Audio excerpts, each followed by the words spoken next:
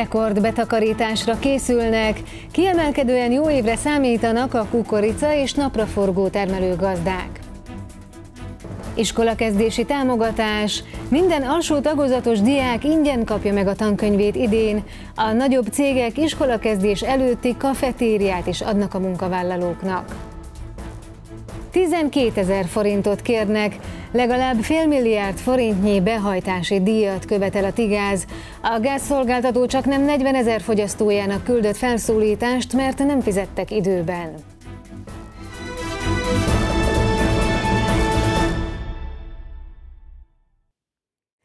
Kiemelkedően jó évre számítanak a kukorica és napraforgó termelő gazdák.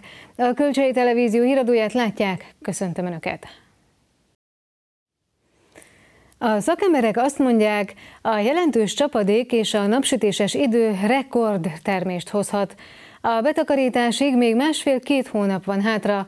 A hozam várakozások miatt azonban a felvásárlási árak már most csökkenni kezdtek, és akár a tavainál is alacsonyabbak lehetnek. Gyulatanyán az utóbbi évekhez képest kiemelkedő a kukorica termése az idén. A fajta kísérleti állomás vezetője éppen azt mutatja, hogy bár van olyan terület, amelyet elkerültek az esőzések, összességében mégis hatalmasak és jól fejlettek a különböző kultúrák. Az idén az elmúlt évekhez képest, különösen a több évet alapult véve rekordtermése számíthatunk. Tudnék a kukoricánál is, mint a többi növényeknél három lényeges összetevőből tevődik össze. Egy, hogyha a gazda nagyon jó fajtát választ, akár 20-30%-kal is növelheti a, a termésmennyiséget. A második lényeges momentó az idén a csapadék elosztás nagyon jó volt, bőséges csapadékot kaptunk, és a kukorica virágzásánál is jelentős mennyiségű csapadék hullott le. A harmadik pedig, hogyha a tápanyagot valaki időbe is normálisan kiadogolja, akkor, akkor nem lehet gond. És még egyszer a lényeg, hogy, hogy nagyon-nagyon nagy termések várhatók a kukoricából az idén. Az időjárásnak köszönhetően is 100 mázsán felül is lehet a kukorica hektáronkénti termés átlaga. Emellett kiemelkedő lehet az idei napra forgó termés is, ennek következtében már el is kezdtek csökkenni a felvásárlási árak. Még egy hónappal ezelőtt 105-107 ezer forint per tonna plusz bonifikációs határidős ügyleteket lehetett kötni. Ma sajnos 91-92 ezer forintnál állunk. Én úgy gondolom, hogy ha az augusztusban nem lesz komolyabb probléma, akkor bőven megfog. Sőt, én úgy gondolom, elképzelhető, hogy a rekord lesz az ország életében az éven, és 650 ezer hektár fölött van napraforgó elvetve, és három tonna átlaga beszorozó két millió tonna termés körül becsültek a szakemberek. Ha ez tényleg bejön, akkor azt jelenti, hogy elképzelhető, hogy még esni fognak az árak. szabolcs már Bereg megyében mintegy 51 ezer hektáron termelnek napraforgót az idei évben. A növény egyre keresettebb az újabb feldolgozó beruházásoknak köszönhetően, így a termőterületek mérete a következő években várhatóan tovább emelkedik majd. Minden alsó tagozatos diák ingyen kapja meg a tankönyvét idén, ez nagy segítség a szülőknek. Támogatást a nagyobb cégek is nyújtanak a munkavállalóknak, népszerű az iskola kezdés előtti kafetéria. Sokan már augusztus elején megveszik a tanszereket, amire meglehetősen sokat költenek. Az iskolatáskákért, füzetekért és egyéb írószerekért 30-40 ezer forintot is kiadhatnak. Szünidő ide vagy oda, augusztusban van, aki már elkezdi beszerezni a tanszereket, iskolatáskát és egyéb kiegészítőket a szeptemberi iskolakezdéshez. A papír írószer szaküzletekben széles a választék és különféle akciókkal, kedvezményekkel készülnek ilyenkor. Mi iskolatáskával fogunk kezdeni, nekünk ugye most Jászmin első osztályt fog kezdeni, füzetek, tollak, sportszerek, mint tesi órára, meg nálunk van heti egy úszás Máté Szalkán az iskolában, és ezért erre is bevásároltunk már úszódressz, úszószemüveg, törölköző, papucsok, egyebek. Az iskolai tanszercsomagoknak változó az ára, attól függ, hogy hányadikos a diák milyen minőségű tanszereket szeretne megvásárolni, és az iskolák is különféle tan- és írószer igényekkel állhatnak elő. Az elmondható, hogy 20 ezer forint alatt már nem úszták meg a szülők egy gyerek beiskolázását, tehát iskolakezdés előtt a több gyerekes családoknak kell mélyen a zsebükbe nyúlniuk. Az idén az alsó tagozatos diákoknak nem kell fizetniük a tankönyvcsomagért. A felső tagozatra járóknál is lesz rászorultsági támogatás támogatás. Az elmúlt években már ingyen étkezhettek a diákok, az óvodások, ezzel az állam komoly anyagi terhet vett le a családok válláról. Az iskolakezdést azzal is segítik, hogy augusztusban a szeptember havi családi pótlékokat és a gyest is kiutalják. Az állam által nyújtott segítség mellett a munkáltatók is enyhíthetik a gyermekes szülők szeptemberi kiadásait. Ennél a nyíregyházi székhelyű külföldi tulajdonban lévő nagyvállalatnál minden évben adnak iskolakezdési támogatást. Ez úgy zajlik eh, nálunk, hogy a munkavállalóink nyilatkoznak, kérik az iskolakezdését, és mi gyermekenként 20 ezer forinttal támogatjuk a családos eh, embereket, akiknek iskolába járnak a gyerekei. A cég 250 dolgozó 166 gyermekét támogatja a kafetériával. Az állam és a foglalkoztatók mellett a helyi önkormányzatok is figyelnek arra, hogy a rászoruló családok is rendben el tudják indítani az iskolába járó gyerekeiket. Mi, mint önkormányzat annyit tudunk hozzátenni állami forrásból természetesen, hogy a gyermekvédelmi kezdeményezően részesülők, összesen 606-an megkapják az 5800 forintos Erzsébet utalványt.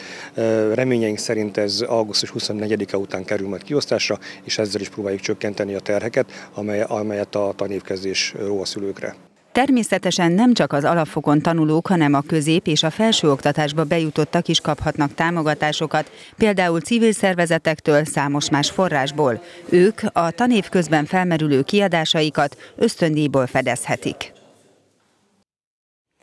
Legalább fél forintnyi behajtási díjat követel a Tigáz. A gázszolgáltató csak nem 40 ezer fogyasztójának küldött fejenként 40 eurós, azaz több mint 12 ezer forintos számlát. Ez törvény adta lehetősége, hiszen bármelyik cég követelheti az úgynevezett behajtási költségáltalányt attól az üzleti partnerétől, aki nem fizet napra pontosan. A behajtási költség általány célja, hogy elősegítsék a pontos fizetést és csökkentsék a körbetartozásokat. A 40 eurónak megfelelő büntetés akár már egy nap késedelem után is alkalmazható, azonban változás a korábbiakhoz képest, hogy a jogosult leggyakoribb esetben valamilyen szolgáltató most már csak egy évre visszamenőleg igényelheti a behajtási költségáltalányt a nem időben fizetőtől. Ez volt gyakorlatilag a korábbi szabályozáshoz képest az az ok, ami miatt a Tigáz úgy döntött, hogy most ezt idén mindenképpen el fogja eh, indítani ezt a folyamatot. A most március 23-án bevezetett törvényt megelőzően, ha valaki egy számlát késedelmesen fizetett be, akkor ezt a behajtási költségáltalányt ezt neki kellett önként megfizetnie, vagy legalábbis a könyvelésében ezt eh, eh, elkülönítenie. Volt egy lehetőség arra, hogy ez alól mentesüljön, abban az esetben, hogyha jogosult, önkéntes írásban erről lemondott. Volt arra példa, hogy megkeresték a tigást azzal a fogyasztó, hogy nyilatkozzon, hogy le kíván mondani erről a jogosultságáról, azonban ezt a tigáz egyetlen egy esetben sem tette meg. Bármelyik cég, szolgáltató követelheti a 40 eurós, azaz körülbelül 12 ezer forintos költségáltalányt attól, aki nem fizet napra pontosan. Fontos, hogy a törvény hatája nem terjed ki a lakossági felhasználókra. A Tigáz az elsők között postázott a gázszolgáltató társaság csak nem 40 ezer fogyasztójának küldött felszólítást. Az ő részükre a hatodik hónap végén küldtük ki ezeket az értesítőket, van, aki már ezt befizette, azt, hogy pontosan milyen összegben vagy milyen értékben, azt nem szeretnénk egyelőre nyilvánosságra hozni. Azt lehet tudni, hogy azért az 1,2 milliós fogyasztói bázishoz képest ez az alig 40 ezer, ez egy meglehetősen kicsi arány, ami gyakorlatilag azt jelenti, hogy a fogyasztóknak a túlnyomó többsége azért az határidőre is pontosan fizeti be a számlákat. Ha valaki a behajtási költségáltalány teljesítésére vonatkozó értesítés alapján sem fizet, illetve a 40 eurós összeget sem fizeti meg, akkor utóbbira vonatkozóan is fizetési felszólítást küld majd a szolgáltató, legvégső esetben a törvény rendelkezései alapján akár a szolgáltatás is kikapcsolható, megszüntethető. A vállalt határidő előtt befejeződik a 471-es út felújítása, mondta a Nyírbátori térség Fideszes országgyűlési képviselője Simon Miklós sajtótájékoztatóján. A kormány összességében mintegy két és fél milliárd forintot költ az ország egyik legforgalmasabb, másodrendű főútvonalának Szabolcsi szakaszára, ahol összesen 13 kilométer új út épül. A Nyírmihálydi és a megyehatár közötti szakaszt már átadták. Nyírbátorban a biztonságos közlekedés érdekében két körforgalom épül, és a Nyírbátor-Nyírbogáti szakaszon is hamarosan autózhatnak. Most történik a műszaki átadása Nyírbogát, Nyírbátor, Szabadságtér közötti 471-es főútvonal szakasznak. Ez 1,4 milliárd forintba kerül egy körforgalommal Nyírbogáton. Én nagyon remélem, hogy ezen útszakasz műszaki átadásával jelentős előrelépést teszünk a közlekedés biztonság tekintetében. Két kamion ütközött tegnap délután a négyes számú főúton Rozsrétszőlő közelében. Az egyik kamionos szabálytalanul próbált felhajtani az M3-as autópályára, amikor összeütközött a vele szemből szabályosan közlekedővel. Személyi sérülés nem történt, viszont mindkét kamionban jelentős a kár. A helyszínelés idejére az autópálya felhajtóját két órára lezárták a rendőrök, ami jelentős fennakadást okozott. Személygépkocsi ment neki egy trélernek tegnap délután Kazárbokornál. A teherautó jobbra akart kanyarodni, ezért lassított, ám a mögötte érkező autós már nem tudott időben lefékezni. Személyi sérülés itt sem történt, a rendőri intézkedés alatt váltakozó irányban engedték a forgalmat. Baleset helyszínelői versenyt rendezett a megyei rendőrfőkapitányság Nyíregyházán. A megmérettetésről hamarosan, előtte nézzük, mi lesz még a mai híradóban. Elkezdte a paralimpiai felkészülést Veres Amarilla. Pákei Béla tanítványa a szeptemberi elutazásig hazai környezetben tréningezik. A nyíregyházi kerekes székes vívó párbajtőr egyéniben és csapatban képviseli a magyar színeket Rióban. Hét új játékossal a keretében vág neki a hétvégén rajtuló NB3-as szezonnak a nyírbátori futballcsapat. A Márton István által irányított együttes célja a bennmaradás kiharcolása. A nyírbátor a nyitófordulóban Tiszaújvárosban lép pályára.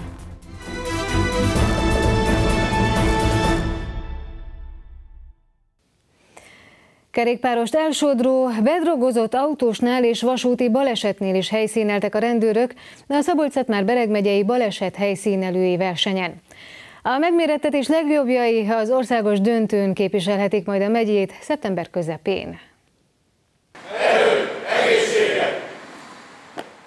A baleset helyszínelői versenyre érkező rendőröket a megyei főkapitány köszöntötte.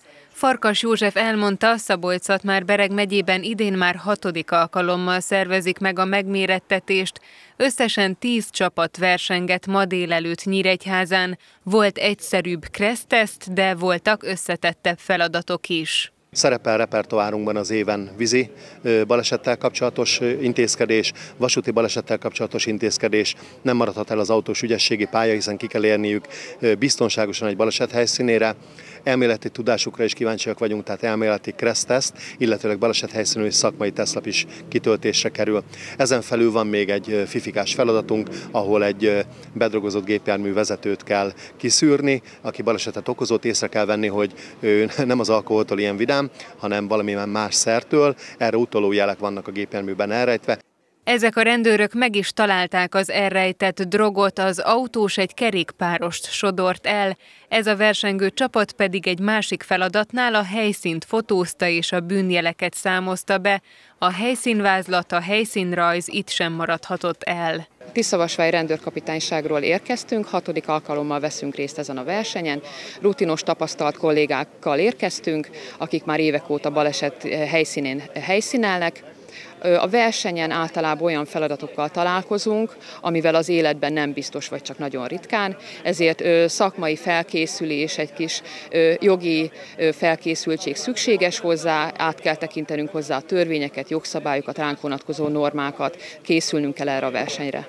A megmérettetés legjobbjai Somogy megyében az országos döntőn képviselhetik szeptember közepén Szabolcs-Szatmár-Bereg megyét.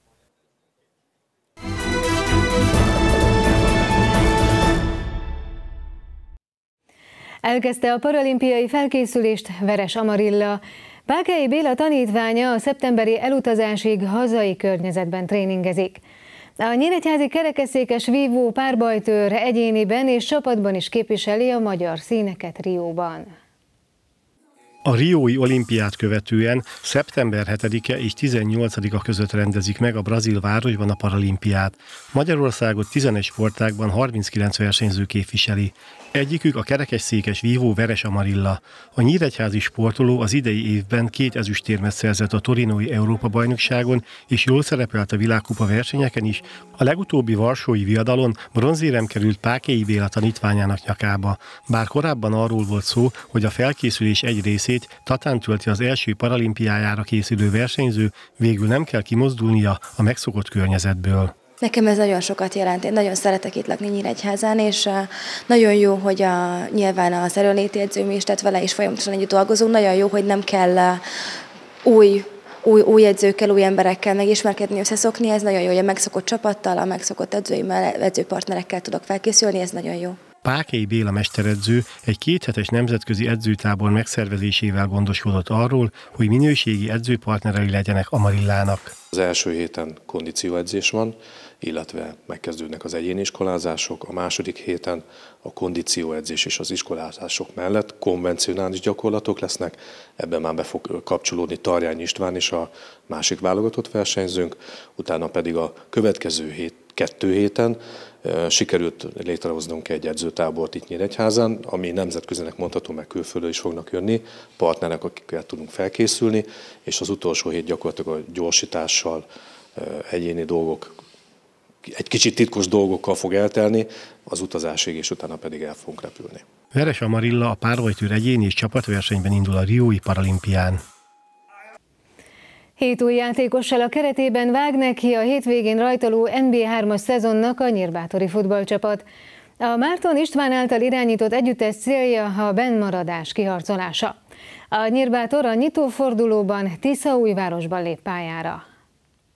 Legutóbb meglehetősen zaklatott szezont követően hosszabbította meg harmadik vonalbeli tagságát a Nyírbátor, és mivel a Nyíregyháza Spartakusz egyel feljebb lépett, a megyét egyedüliként Márton István együttese képviseli az NB3-ban. A tavalyi csapatból Fabu, Fülöp, Sós és Vámos távozott, helyükre heten érkeztek. Bernát Martin Sényőről, Hornyák Marcel Rakamazról, Kornyutyák Volodimir Kisvárdáról, Német Szabolcs Cigándról, Reznek Donát Dorogról, Szabó Roland Ibrányból, Vasas Gergő pedig mezőkövesdről tette át a székhelyét Bátorba. Azoknak a játékosoknak a döntő többségét sikerült megszerezni, akit szerettünk volna, és az sem utolsó szempont, hogy a, azok a játékosok, akik meghatározóak voltak az előző bajnokságban, ők maradtak a csapatnál. Úgy gondolom, hogy, hogy megfelelő a keret a céljaink eléréséhez. Márton István elmondta, a felkészülési meccseken megpróbáltak egy olyan labdabirtoklásra alapuló játékot gyakorolni, amelyel nem nekik kell alkalmazkodniuk az ellenfélhez, hanem rá tudják erőltetni akaratukat a riválisra.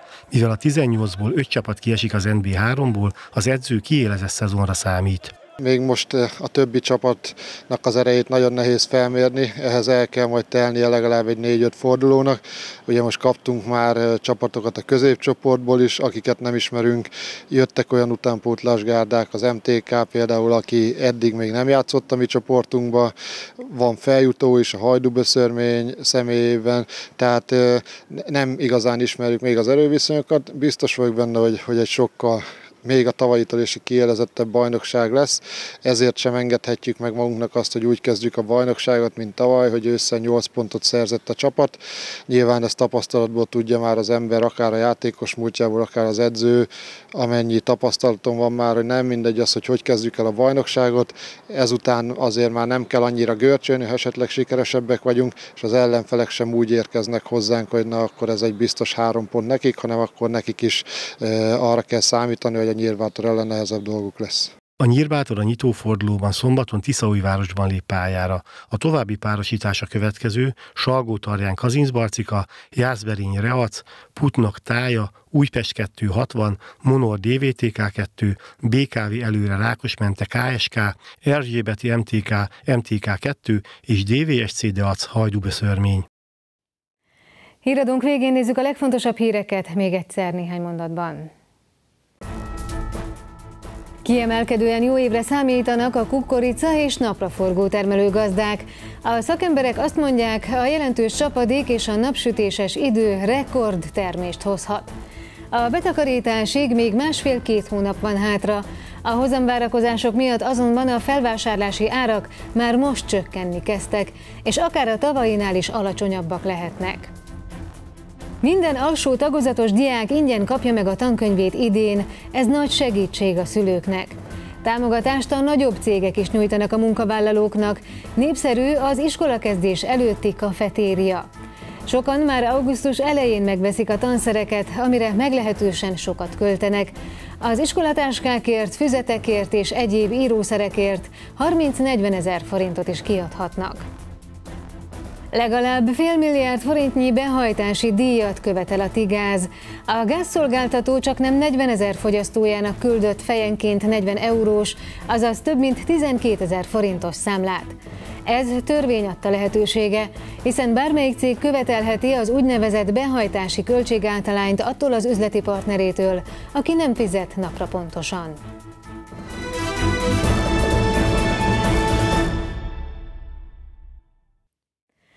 A Kölcsei Televízió híradóját látták augusztus 5-én pénteken. Friss hírekkel hétfő este jelentkezünk legközelebb, hétvégén pedig heti hírösszefoglalónkat, a krónikát láthatják. Addig is látogassák honlapunkat.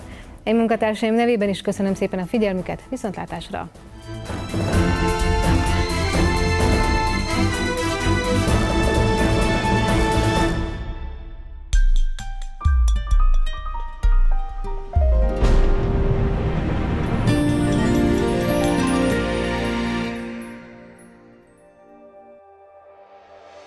Holnap változóan felhős időre számíthatunk záporokkal.